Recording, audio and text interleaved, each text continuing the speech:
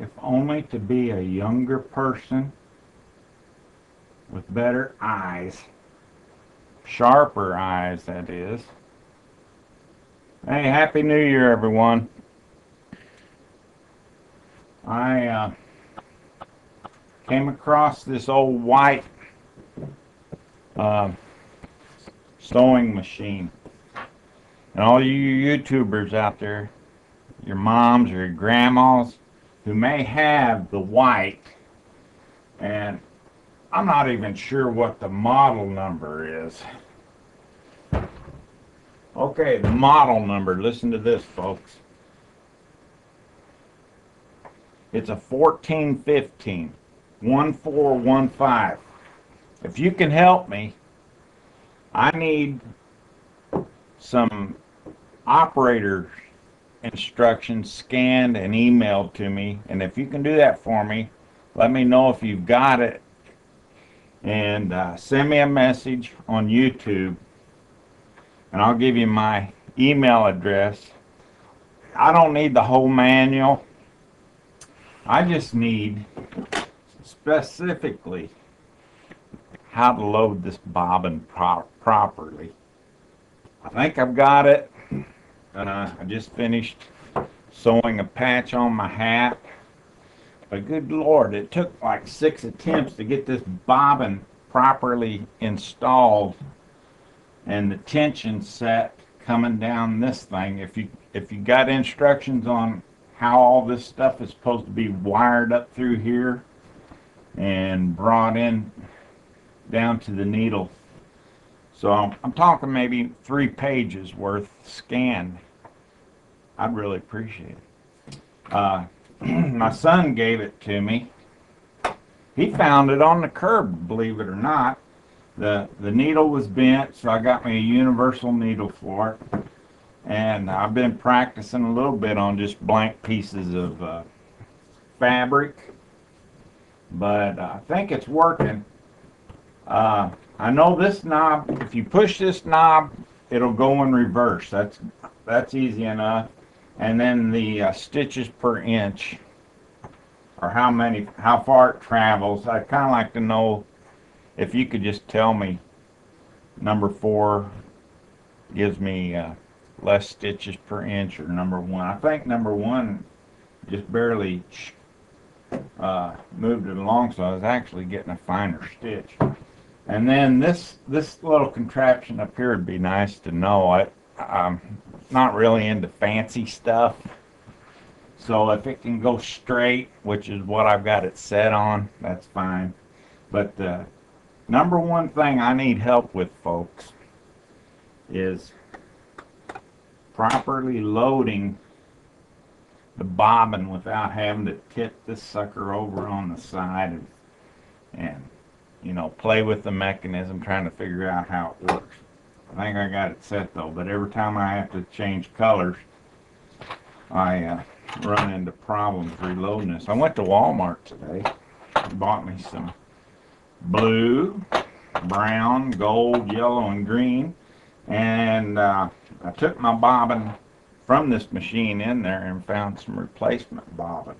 So that way, if I need to change color, I can keep the thread that's on here and I don't have to waste a lot of thread just to change the bobbin color. So I've got multiple bobbins.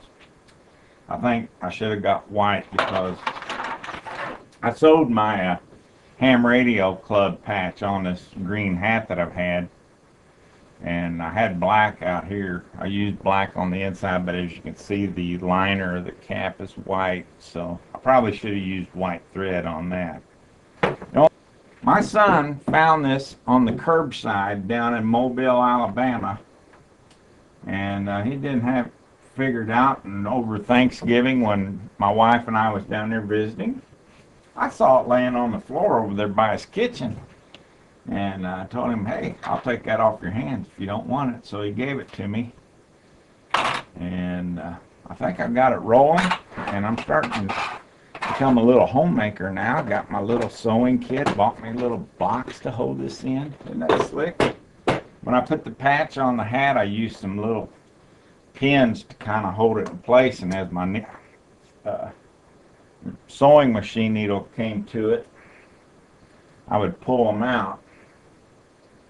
And uh, I've seen sometimes where you can actually just sew right on over the pins and wait to pull them out when you're finished. But that patch being round was a little more difficult, especially on the hat, because I wanted to make sure that I didn't get the sweat band. So I had to kind of do it by hand, had to crank this by hand because I didn't want to run too fast. So I'm real happy with it. But this is a model 1415 white. I don't even think they make them anymore. Man, if you don't use the sewing machine, but you've got the operator's manual, I would gladly love to have it. If not, uh, take some pictures of the loading instructions. Anything else you think might be handy. Uh, the parts as far as the proper needle that needs to be in it.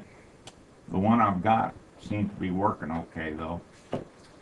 And uh, that's just about it.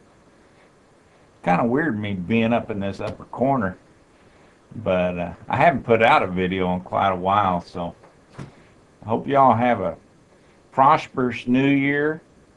And uh, I'm to try start thinking of some more projects. I just sewed up the pants in my blue jeans where the, the first layer of threads is pulling out. So I used the gold thread on that. That worked out pretty good.